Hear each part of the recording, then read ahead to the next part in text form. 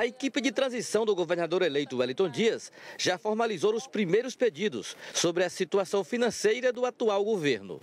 No primeiro momento, o diálogo com a atual equipe de governo, o governo Zé Filho, no sentido de procurar evitar qualquer medida que possa inviabilizar a futura administração e, ao fazer isso, prejudicar o povo do Piauí. Essa é a primeira.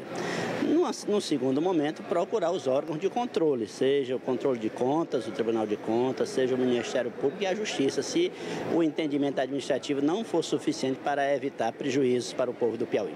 Aliado da candidata Dilma Rousseff, o deputado Merlong Solano analisa os números das recentes pesquisas Datafolha e Ibope.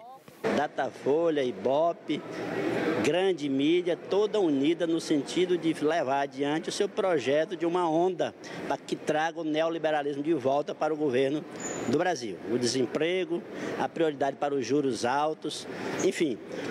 E isso demonstra até, em certo sentido, que a estratégia está começando a fazer água, porque institutos outros estavam dando resultados francamente desfavoráveis à nossa presidente Dilma.